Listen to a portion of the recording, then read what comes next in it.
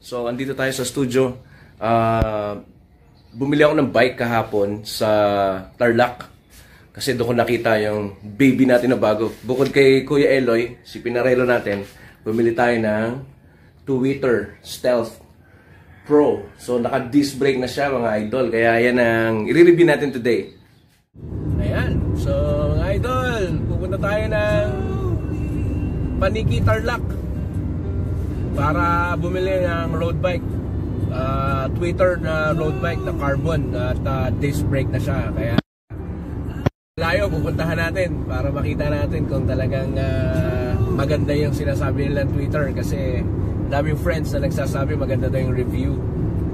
So, ang tagal kong naghanap ng uh, disc brake kasi gusto ko uh, brake na para yung pinarelo natin hindi nabubugbog. uh, yun ang gagamitin natin na uh, pang uh, everyday.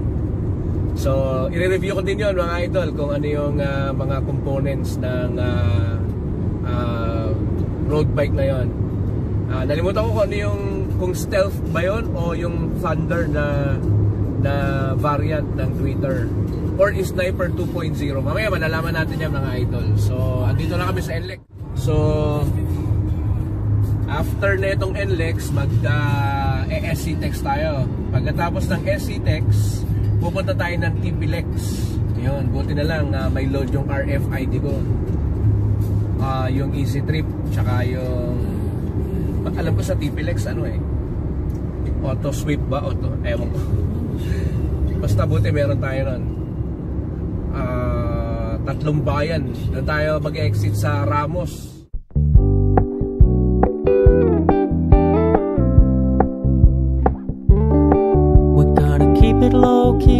it softly spoken, with no strings tying you to me.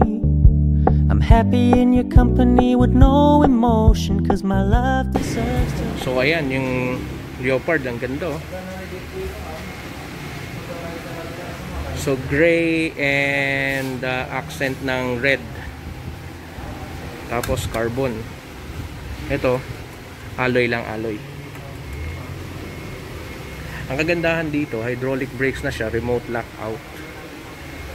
Ayun, ang brand niya Twitter din. Yung kanyang fork. Tapos naka-Deore na siya. Sabi nila. So titingnan natin. Ayun, naka-Deore nga.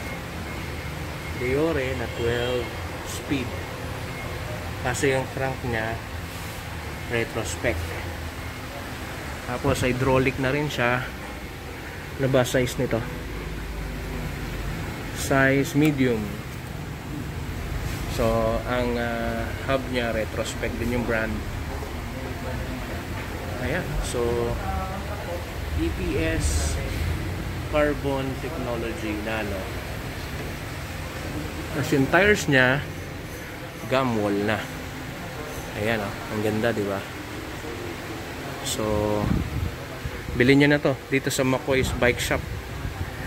Meron din sila rito mga uh, cleat shoes, mga parts. Madami. Pero ang pinaka gusto ko sa kanya yung mga frame. Meron siyang frame na mga full shoes, pang downhill, uh, mountain bike, Ayan, mga idol. Teka. Mga Twitter na na frames, uh, na bike. So, full carbon. Naka-retrospect siya na 11 speed. Lahat siya, lahat. Meron ditong small, medium. So, ganito yung kinuha ko. Naka-disc na siya. Mechanical na lang. 11.30 yung kanyang uh, cogs tapos 50.34 tong crank may napakita ko sa iyo ayan. 50.34 retro specs 11 speed na siya. Naka disc na siya. Ito yung uh, cogs nya ayan.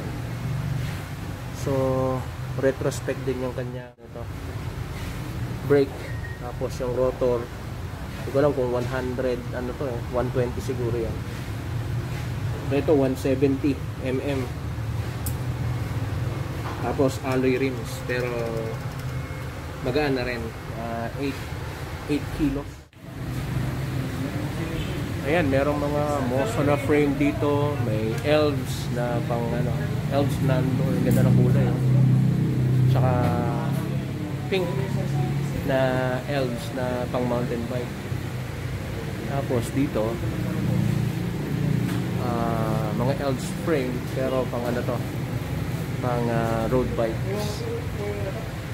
Uh, gaganda, daming bike dito. Hawak mama. Hello. Ito giant naka 105 uh, group set.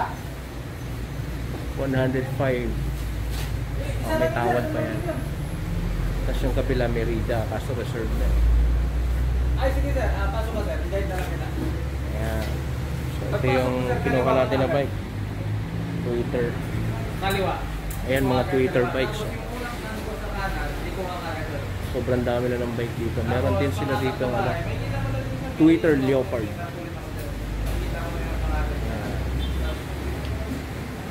Ito na nga, mga idol, ang ating bagong Twitter Stealth. So, biniyahe pa natin yan. Uh, sa Paniki Tarlac, ako e tiga Pasig. Kasi bihirang-bihira po makakita ngayon ng ganito. So, sabi nila, sabi ng mga friends ko, maganda daw ang review ng Twitter. So, it's a carbon uh, frame. Uh, itong size nito, medium. Malaki daw yung sizing ng ng uh, uh, Twitter, sabi sa akin ni Sir McCoy. Uh, nga pala, shoutout kay Sir McCoy ng McCoy's uh, bike shop dyan sa may Paniki Tarlac. So, um, saan natin sisimulan? Siguro sa frame muna tayo magsimula. So, sabi dyan, eh, EPS, Technology Carbon Nano. So, medyo magandang klase siya. Hindi ko lang alam kung anong, uh, kasi yung, yung Pinarello Dogma F12 natin, T1100. Ito hindi ko alam, baka T800 siya. So, ang ganda ng pagkaka... Ang ganda ng frame niya, erong-ero. 'Di ba? Dito pa lang sa simula, sa unahan, 'yan oh. Yung kanyang emblem, Twitter. So, ang ganda ng frame niya, mga idol. Integrated na yata, hindi. So, ito, dito yung sikipan niya ng uh, seat post niya. Carbon din siya. So, kung titingnan niyo parang glittery siya eh hindi lang makapture ng camera natin. So medyo glittery itong, itong part na to tsaka itong rim set. Parang iisa yung color nila. So ito ay uh, color red. Parang Ferrari red siya eh. So ang size niya, ayan oh.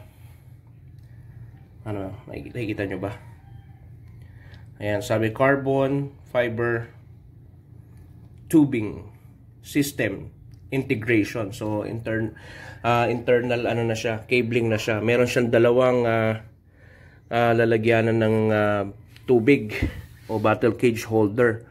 So ito pala yung size sa kabila. Ayan, medium. Pero pero medyo malaki-laki to eh.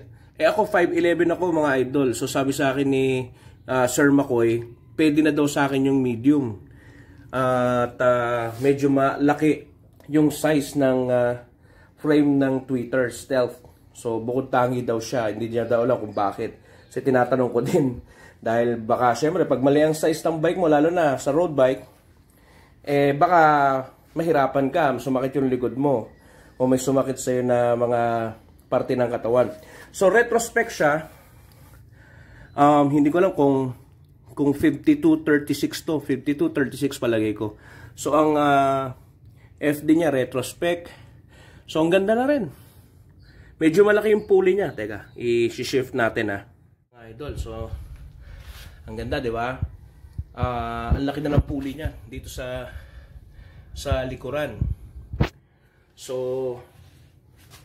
uh, 11 speed siya na Sensa retrospect. So, sabi nila ang Sensa ay uh, parang katulad ng SRAM. So alam niyo naman siguro yung storya niyan, pati yung L2, yung SRAM at uh, Sensa kasi yung SRAM gumawa yan dati sa China Tapos lumipat sila ng lugar. Paglipat nila ng lugar, syempre may mga skilled SRAM worker doon na nagtayo ng sarili nila. So China brand, pero kung titingnan mo yung shifting niya katulad ng mga SRAM. Kaya hindi ko alam kung ah, tatagal to. Pero ito ang i-upgrade natin kahit sa 105 siguro. Kasi medyo mahal yung Ultegra na disc. Hanggang ngayon, inaantay ko pa. Doon, kay Pinarello, yung Ultegra na disc. Yan. Ah, R8020 yung kinuha natin. Hindi pa dumarating. So, kasama na siya. Oh, wow! Ito, hindi ko lang. Siyempre, papalitan natin to. Itong ah, pedal niya ng ah, cleats. Tapos, ah, alloy rim. ah, 40mm. Ang ah, tires niya. Innova Pro. ah smoothie. So, lalaspagin ko muna yan. Bago natin palitan ng Continental. Tapos, ah ito parang 90 yung kanyang stem. Tapos, ito parang 40, 400 mm. Medyo maliit sa akin to. Ito, papalitan ko to ng mga 420. Ayan, yan ang mga papalitan natin dyan, mga idol. Pero, napakaganda niya. Itsura pa lang. Takaw tingin na. So, meron tayong bagong bike. Ah, mechanical disc brake lang pala siya mga idol. So, ah, papalitan natin yan in the future. Pero laspagin muna natin, sayang. ba? So, pag tinignan mo sa malayo, ang angas ng forma. Matindi. 'Di ba? Pwedeng-pwede na to pang malakasan. so, yun lang. Ang upuan niya, Ah, hindi ko alam kung ano to. Palagay ko Twitter brand din to. Ayun, hindi ko pa naalis yung presyo mga idol. 39,900. Tanggalin na natin yan. Yan. Inaiwan pa. So, tatanggalin na natin. Ayan, so I will take this for a spin. Yan mga idol. Ah, wala na, wala na akong i-review. Basta Sensa, yung kanyang STI Sensa, ah, internal cabling pero ito papalitan ko to nung kahit anong carbon na makikita ko sa Lazada na in, in, ah, ah, integrated para wala na tong nakalabas. Tatanggalin natin yung mga nakalabas na yan para talagang malinis siya katulad ni Pinarello. So, ayun lang mga idol. Sana magustuhan nyo yung Stealth na to. Stealth Pro. At ah, pwede kayong bumili sa McCoy's Bike Shop sa may Paniki Tarlac. So, napakaganda niya mga idol. Ang angas ng dating. Pala mga idol, nalimutan kong ah, pakita sa inyo yung sound check. Sound check natin. Para maganda. Tunog mayaman. Ah, yung hub niya retrospect din. Kaya matindi. Panalong panalo na to sa ganitong ah, presyo. Sa price point niya. So, ayan mga idol. Ito na yung review natin ng ah, ah, Stealth Pro, no? Ng ah, Twitter.